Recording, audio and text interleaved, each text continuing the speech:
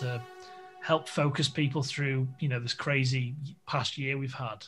Mm-hmm. And having someone like yourself, Kiko, and uh, Vance Burbury last year as our cinematographer, um, judge, and the director's duo makes a huge difference. Mm-hmm. And it mm. kind of legitimizes what we're doing and it adds this extra interesting flavor to it. Um, so thank you for that uh, straight off the bat. For having me. Um, yeah, I wanted to kind of start things, you know, in a relatively straightforward way.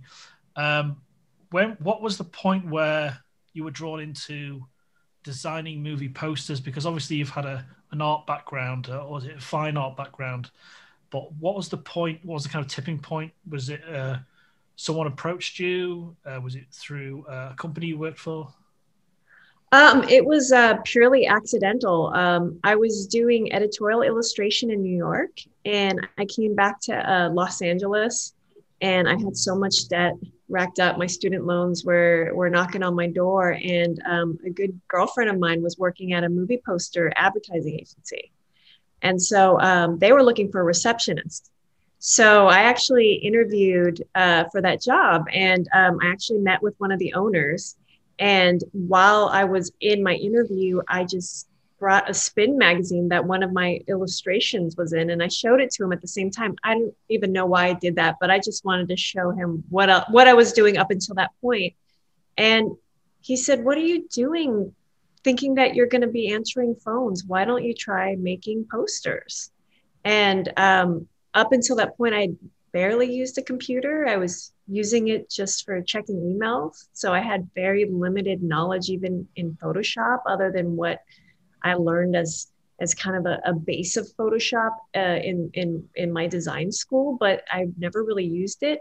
And um, they tried me out as a junior designer, and um, I had about three months probation with them, where I just kept messing up, and I don't know how I didn't get fired every day. But um, eventually, after those three months, um, they decided to take me on full time. And um, everything I learned was on the job and being thrown into the fire. And um, yeah, the rest was history from that point on. Yeah, it's what I've what I really appreciate is um, I've I picked up your book about a week ago, and oh, thank you. Uh, there's a couple of comments from uh, Bryce Dallas Howard and John Talbot, especially, uh, and I completely agree what John says about uh, Joe. So, uh, sorry, said about um, yeah, your your works from the heart of the film, and when you see your the artwork from your posters, like I just watched a uh, Cop Car, uh, hmm. great film with Kevin Bacon, and when you see the poster, it it really pictures those two boys that find the police car with the energy of the car jumping over the hill. And that's represented, I think, across the board in your movie posters. There isn't any kind of, oh, that doesn't really represent that because you see that in some movie posters and and it's a really terrible representation of what's actually on screen mm-hmm. as though they've never seen the film. Like the worst example I've seen is a film called Reign of Fire with Matthew McConaughey and Christian Bale where it's it's this epic fire scene over London. You go and see the movie, and it's just a very one second shot from a flashback, and it doesn't represent the film in any way. But I'd say your work, it's really nice to see that consistency through it, the kind of honesty of the the heart of the film. You know, it's really quite nice. Well, thank you. I mean, um, going back to what you said about that poster, how you felt tricked into seeing that movie. I mean, that isn't necessarily that's part of the work, isn't it? Yeah, that's, that the, is, that's the point. Yeah, but um, I think you know, it's it's not necessarily that doesn't necessarily fall on the designer's shoulders. That that could also be the marketing team behind trying to get this movie to be seen. So sometimes you know, it is smoke and mirrors to get um, somebody to sit sit down and watch it, but you know that's also the fun part of the job is that um, we are having to kind of navigate through these marketing directives and still try to come up with something clever and eye-catching at the same time. And and and when that happens we're we're really excited when we can push something a little less conventional through. Yeah. So with your creative freedom when you are able to or when you're commissioned for a, a movie poster do you have something from the movie that you can work with do you get a preview? Are you reading scripts? Like, how do you um, begin your process for creating these posters and creating that's so much a part of the advertising part of it? Um, you know, it changes per project because I'm brought in at such different stages in the game of the film. Um, a lot of times um, they'll want to start getting some type of advertising out in the world to kind of tease a film before it's even shot. Right. Or they even cast people. So sometimes I'm only given a two line synopsis. So um, when there's sometimes there's nothing to work with at all. And so that's when my illustration skills come in handy because I'm really having to kind of generate something out of nothing. And I actually really love those projects the most because it's pretty open and, it, and you can get super creative and and um, it, it's before so many things are kind of locked down. It's before actors need their face a certain percentage or their name a certain percentage on the poster. So um, oftentimes when there's the least amount to work with, that's that's actually when I'm the most excited to be brought on. Um, but um, other times I'll be given a script. Um, maybe half of the time I'll get the screener, but um, a lot of times the screeners are without special effects or without music. So mm-hmm. you really get to see how much editing and music really make a film feel like a film as opposed to watching a play in a theater. So it, it's always fun to see the different stages of a film. Does that come with, uh, because you've worked with, I think, was it uh, one or two, uh, two, some of these filmmakers more than once? Do you sometimes have a clearer picture because you've built up a rapport uh, with a filmmaker or through a company? Um, it depends. I mean, sometimes a filmmaker can can have a different studio representing that film, and just depending on the studio, I'll know that that studio wants to push something more broad or more more mainstream. But um, I think I pretty much figure out what the tone of the poster is going to be by the studio more than the director because you know there are some directors i'm like oh i'm so excited. I, this is really going to be open to something um, you know out of the box and and really left field. But then when i see the studio representing them i'm like oh okay but they're still going to want to market this to mm-hmm. a mainstream audience. So you know it's you have to kind of pay attention to those those little things. I mean you still want to push better work but but you know that with certain certain studios you you're you're going to have a little bit more confinements than with others is that is that something that happened? I, I was reading your book where it says um, where your design for Under the Skin, where you had you had a, uh, a, a certain amount of freedom, and then they kind of went away. It kind of left was left on the drawing board, kind of thing. Is that something that they're really happy with going forward with a design, and then it just like now we want to completely change it, and they go to a different design? Is that? Yeah, I mean that one was um, interesting because I was working directly with the director and he Jonathan Glazer, yeah. Yeah. He came to me and he's like, I don't want stars. I don't want the sky.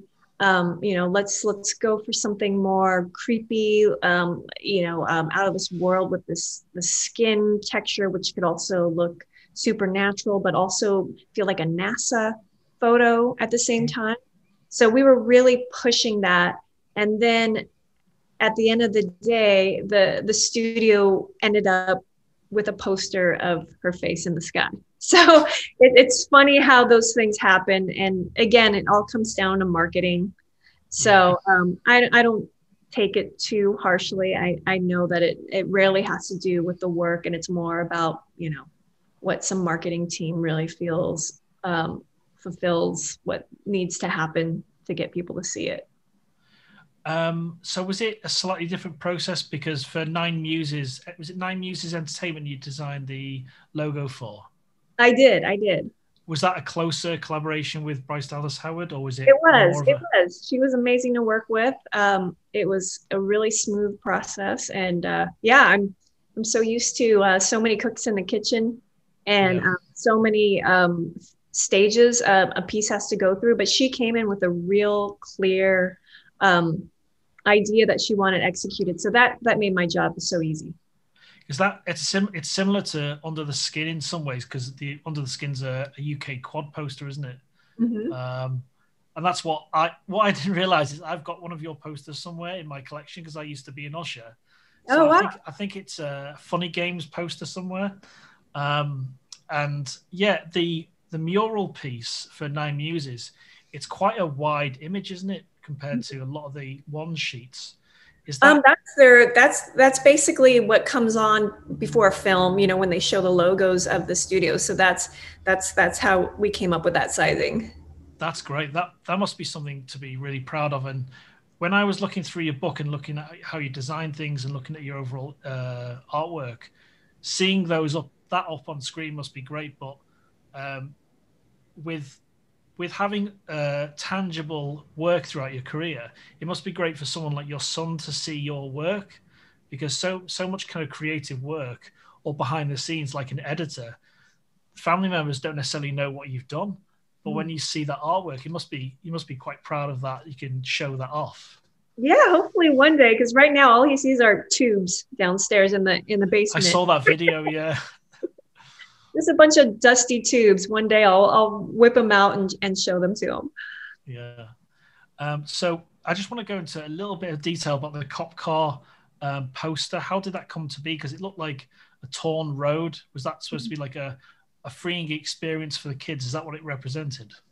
Um, well, let's see. When when I got put onto that project, there were a few ideas where I had that were um, based on the two children, and um, I actually pitched some illustration ideas as well, but um, when it came down to it, we really just scaled it back. And um, I think the, the, director was pretty adamant about using a photograph. So um, what we did is um, one of my favorite all-time posters is Downhill Racer. It's a Robert Redford film, and it, they do a similar trick with the rip. And um, I just thought, hey, um, let's show this action shot, but let's make it feel a little bit more interesting so it doesn't feel like a mainstream action movie. Because as you saw in the film, it's more of a art. Yeah, it's like super minimal. And you know, yeah. it is very minimal. So I felt like the the poster had to kind of reflect the tone of the film. Yeah, so it's, su- really it's super. Yeah, it's super efficient. That's what I get from the poster as well. That the film's, it felt like a first time director, but not in a a negative way, but it's really efficient use of the camera movement and everything. Um, and I couldn't help but laugh at Kevin Bacon running in that film, especially yeah. when he realizes he's lost the cop car. um, what I really liked about your book um, was the stages uh, that you show, and it's on your website as well. The different stages from beginning to end, mm-hmm. how you approach design. Um, has there ever been a point where you've designed something that's almost final then and then you've gone back and redesigned it? Um that's happened a few times. Um i think what happens is that these deadlines get shorter and shorter. So once it starts getting to the 80% done there's not much time to kind of restart the whole thing.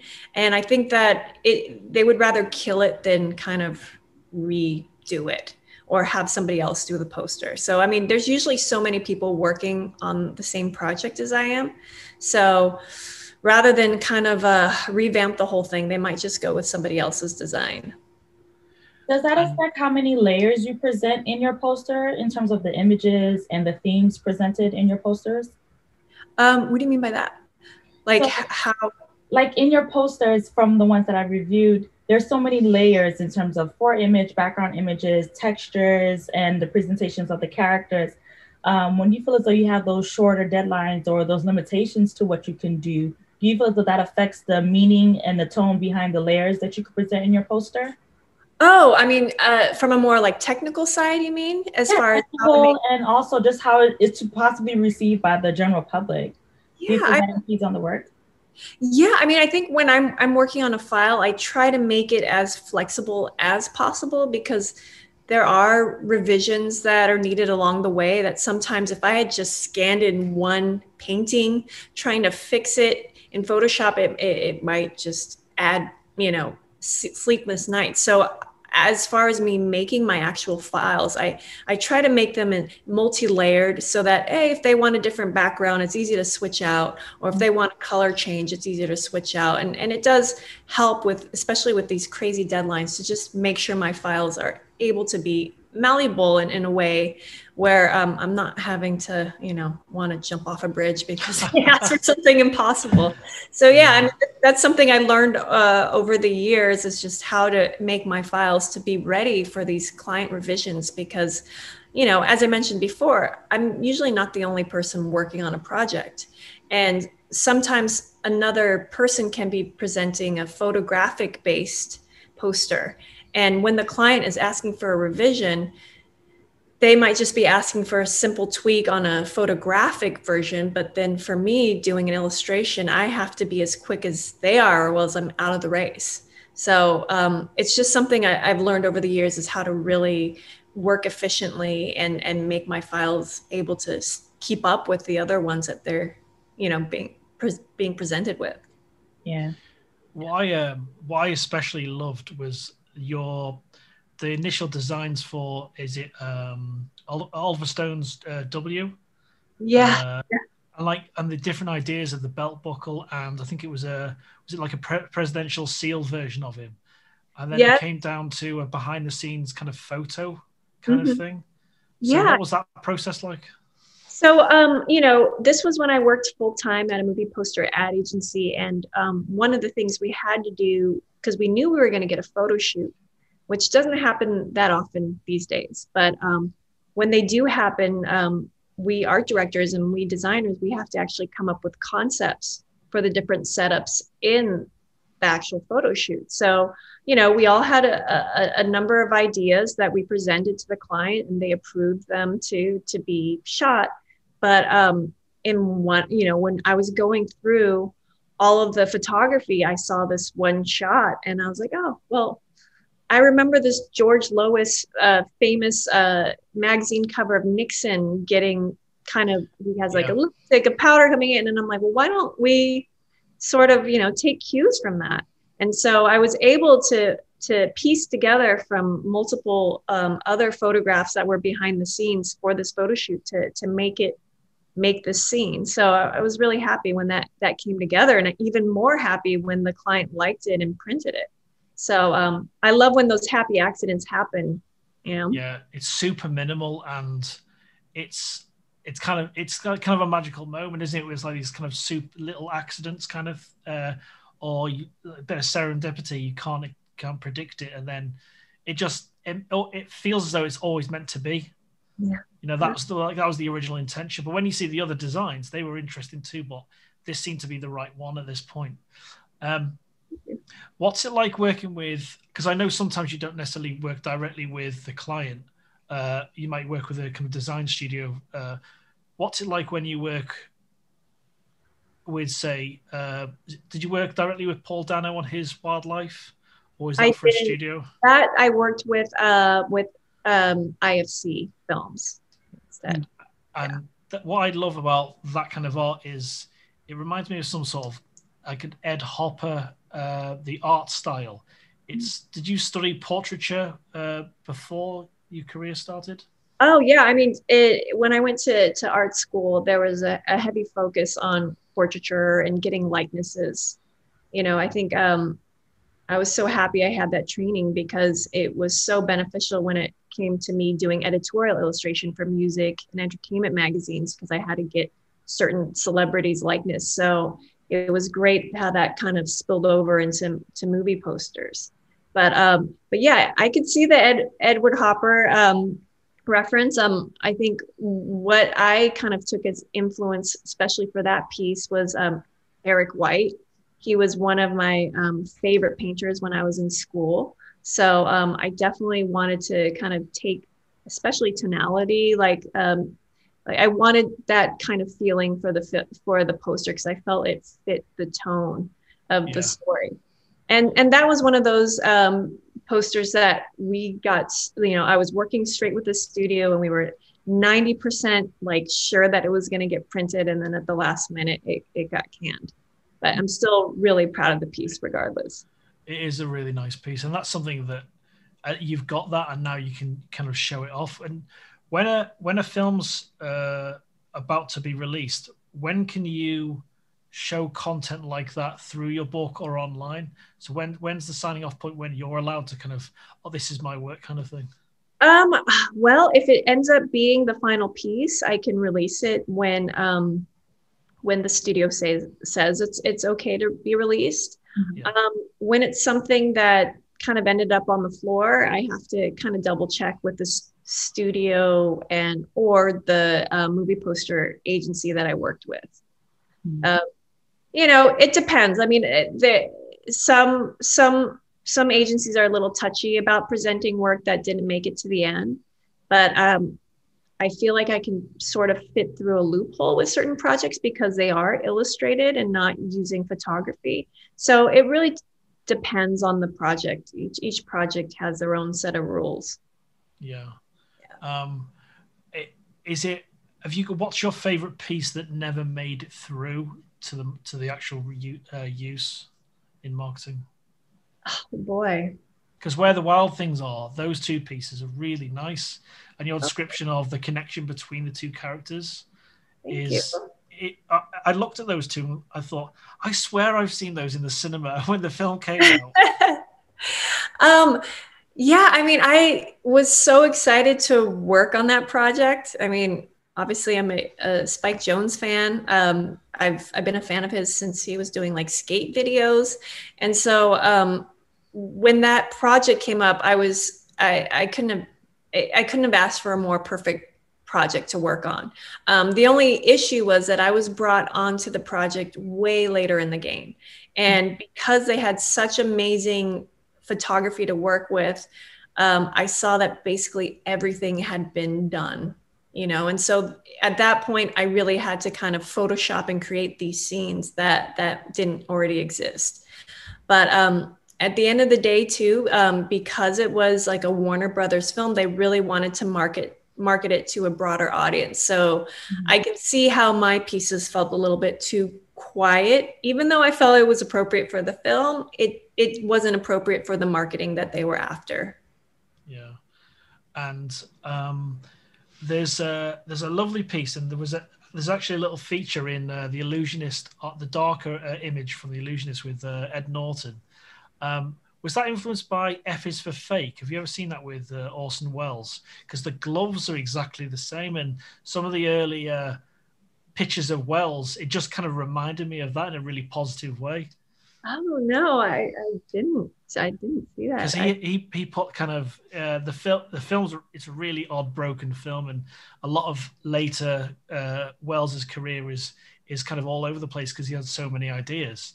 Hmm. Uh, but it was about a uh, an illusionist, whether the film was real or not, and uh, it was just that just the little feature of the gloves in that poster that kind of reminded me of that. Hmm. Um, no, well, I'm glad it, it reminded you of something in a good way. yeah, and that's what I liked about um, the Paul Dano film is that there's some kind of inner warmth in those in those pieces of art that connect you to uh, the people. Because when you see a, a, huge movie poster, and uh, I won't speak to, disparagingly of anyone, but sometimes it can get a little bit generic. But when you see something that you have a real instant connection with, or when you see the film and it's an accurate representation. I know what you were saying about you know they're trying to draw you in, but when it's when it's a real representation, like the Coen Brothers work you've done as well, it it makes so much sense and it kind of reminds you of the film in a really positive way. Great. Yeah, I mean, I think that's that's always a challenge too. Is is is representing the film and and wanting to to do it in a creative way, but still, you know, still answering to your bosses. yeah, absolutely. Yeah. yeah. Um, is there any kind of do you have any kind of happy accidents when you do design work or when you've uh, done a painting for something like when you did the colossal piece. Was that something that was or, always intended the kind of the hair but it's actually the legs of the, the, the monster yeah you know i mean when i was watching the film I mean, I, I, had so many other ideas too, but my first one, when I figured out how to do the optical illusion of both the the monster and her hair, I was just doodling, and I was like so excited about it. And um, you know, I think it was also because I was just watching the film and going, "Oh, I've never seen Anne Hathaway with bangs," you know, like it was just this this little thought that popped into my head, and I'm like, "Wait a minute, how can I?" use this. And then once I kind of figured out that it could make the silhouette, I was like, oh, I got it. And so mm-hmm. I I presented it to Neon and it was the first idea I presented to them and they're like, this is awesome. Let's do it. And I was so excited that they went with this minimalist approach because it couldn't have worked with any other way, uh, painting style. Um, oftentimes, some client will be like, I love this idea, but let's paint it realistically. And I'm like, well, if we paint it realistically, it's not, the trick's not going to work. Right. So um, they were really open to the style and how simple it was. And, and it was a project that just went so quickly. They're like, all right, let's do it. Let's print it. And I was like, oh, I can't believe that just happened. Yeah. So I mean, it was definitely a really fun project, and and I love how you know even if you don't see the film, you might just be like, oh, I appreciate the the minimalist um, use of this, you know. But then once you see it and once you figure it out, I, I love when someone comes back to it and was like, oh, I see it now. Mm-hmm. So I mean, that's definitely something. Um, I like to do when I can. I mean, I did that for a portrait of a lady on fire. Um, you know, I was happy that people loved that poster for just thinking it was a flame. But when people finally saw the profiles to come back to it, I mean, uh, and have that aha moment, I was like, all right, great. You know, I'm glad people saw it. People saw other things in it too, but at that point, it just became like a Rorschach test, you know? Yeah, absolutely. yeah. I found that with the um, when I looked at the Point Break piece, was that was that for a charity, wasn't it? The Point Break poster. That was for a charity, yeah. But I love that. It was so simple having the surfboard on top of the gun. I love that. Thank you. Um, but that must be such a joyous moment when it's like when you do an edit for a short film, is that when when a sequence comes together, it's like, oh, that works really well. I can't see any reason to change that. Mm-hmm. And it, it must be quite an enjoyable process, and yet obviously you're showing it, you're producing it for a client or for a filmmaker. Um, is there any do you have any moments where you thought something yeah that's great and then you've you've sent in the, the the initial design you're really happy with it and they've kind of rejected it straight away? Oh yeah all the time. I think that happens more than it doesn't. That's why i'm like surprised when certain things do make it to the end like colossal or a portrait of a lady on fire. You know like there are so many times i'm like oh i wish they would just do this. I can i know i can already see it in my head and and i know it's going to be great but you know it you build you build thick skin being in this industry and and i never feel like ideas are completely thrown into the trash because i somehow always kind of keep an archive of certain con- concepts. And um, when that perfect movie pops up where i can kind of do a version of that concept um, i'm i'm happy that it's there. Um, i'm trying to think of an example of an oh okay so um, the poster for um, why am I drawing a blank? There, I've I've been pitching this idea to do um, where it looks like you're looking outside of a, a, rainy window, and I pitched it for so many different ideas where I'm like, this would be amazing, you know, and um, of course they they all got turned down but then the perfect project came up and i was able to do it and and i was so happy. So so yeah they're never completely trashed. They're just kind of kept in here for different iterations later down the oh, road. oh, so you kind of sometimes have an idea of something really nice you'd like to to work on and for it to work and then you don't see the quite quite the right project and then something comes along and then oh that i had that idea two years ago, and now it works really well for this. Yeah, exactly. Yeah. That's incredible. Um, so I wanted to ask you, what's it like when you're working on something that's really quite big, like the Deadpool, uh, the Deadpool two poster, because mm-hmm. that must have been a much larger kind of entity and different people you're working with. Yeah, it was, and and I was actually really excited to to work on that because I'm so used to working on titles that when my my family asks me what I'm working on, they're like, "Oh, great! I don't know what that is." you know, uh, and so to actually work on you know a, a piece that people would know, but also uh, a piece that I could have fun with, you know, especially Deadpool, which is you know less conventional Marvel film, and and so um, it was really fun, and and it was fun that um, that they were so willing to take risks uh, and print so many different posters for for the advertisement for the film. So yeah. I was so happy about that. That was fun. That's the beauty of that particular movie with you know breaking the fourth wall you can do you've almost got a complete freedom in many ways especially the marketing of that film is is unique compared to a lot because there's a lot of detail from a piece that's so complicated like that, what's your kind of starting point? Do you have certain things you need to hit on? Yeah, I mean, we definitely wanted to reference Animal House. So, um, so it took a, you know, there were a lot of little scenes happening all over the place, and so you know, it took a long time to do, and there were revisions amongst the little scenes, but um, every single situation had to be approved before moving forward.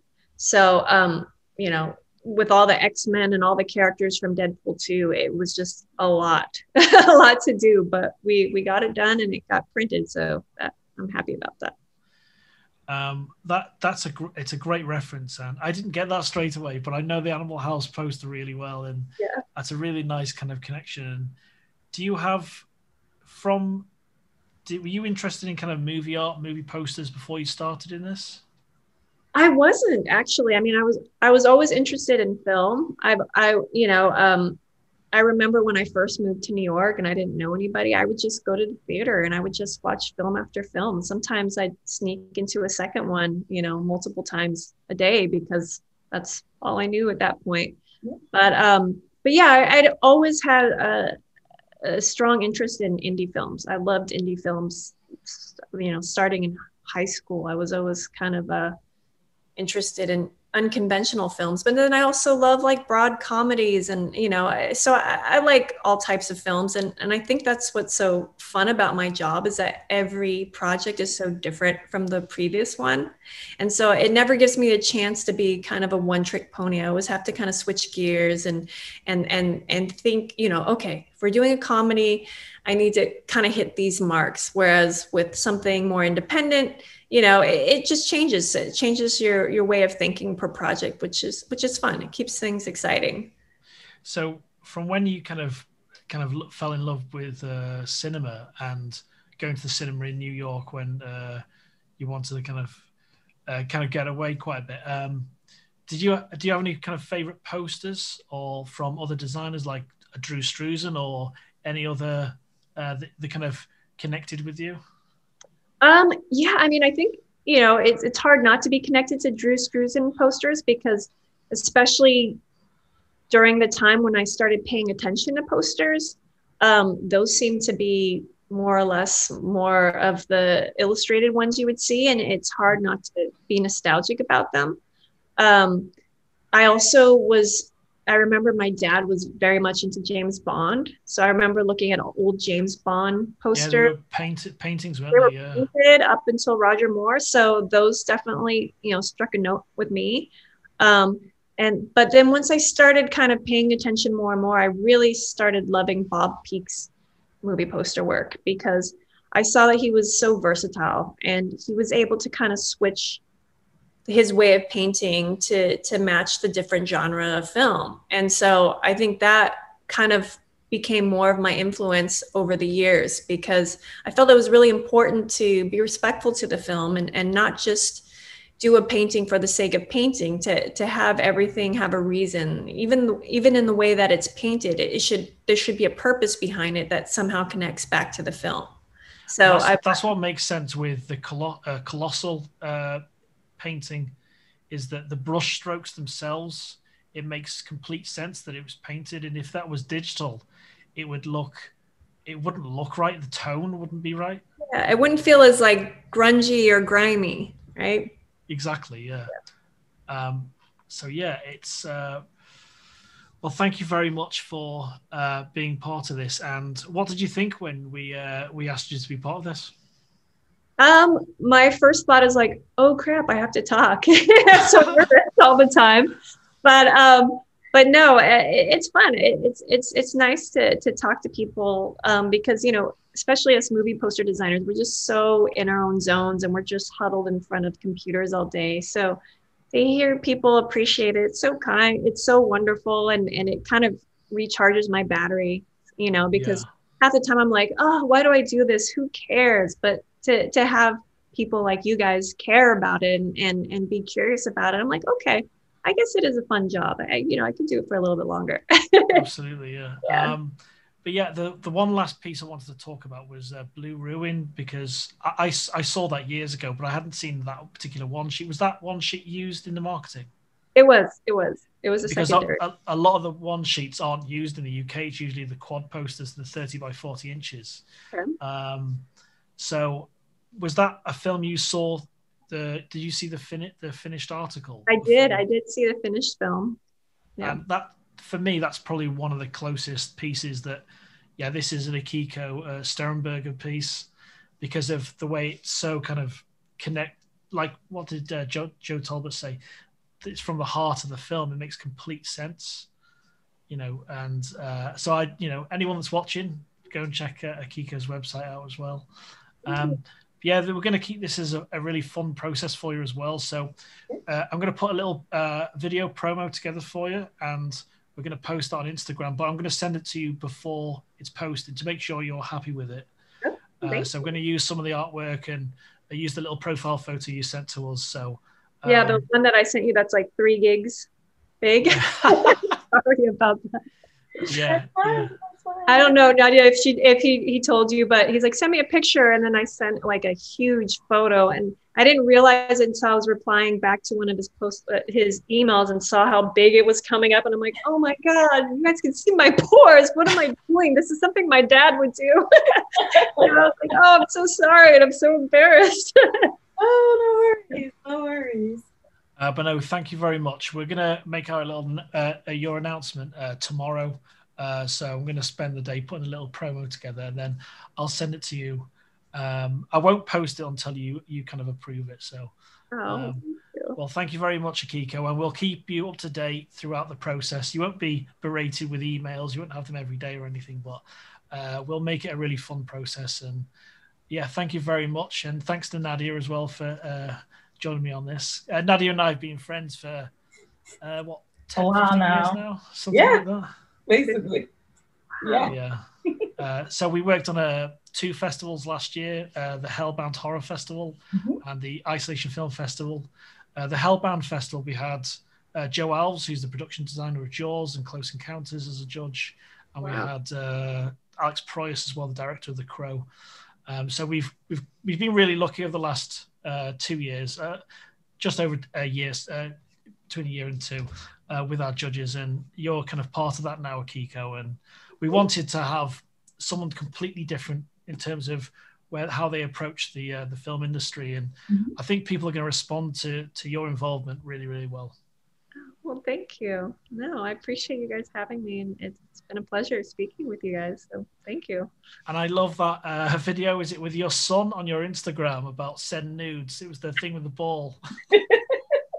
yeah we were having fun. We were bored. Uh, we had all these moving boxes because my my ex boyfriend was moving out, and so I was like, let's let's make something out of this. So mm-hmm. you know, we were constantly making these little marble pathway fun little things for him, and so yeah, we had fun with it.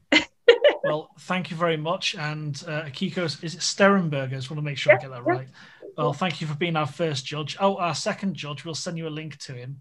He's called uh, Garth Austin. He's a documentary filmmaker from South Africa, oh, and he works in uh, with uh, rhinos and elephants for conservation purposes. And wow. he's a really talented filmmaker. And the first thing I saw of his work, he was actually uh, scratching the chest of a rhino because it was next to him in this conservation space in South Africa and he was told to do that so it wouldn't kind of knock him over or kill him.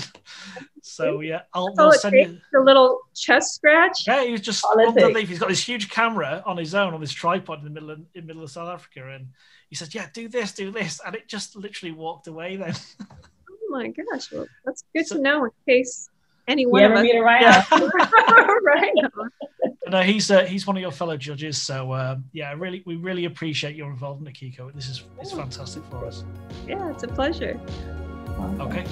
We'll, okay. we'll, we'll see you soon, and thank you very much again. Thank you again. Um, All right. See you now. Have a good rest Bye. of your evening and night. Yeah. Absolutely. Thank you. See you now. Bye. Bye. Bye.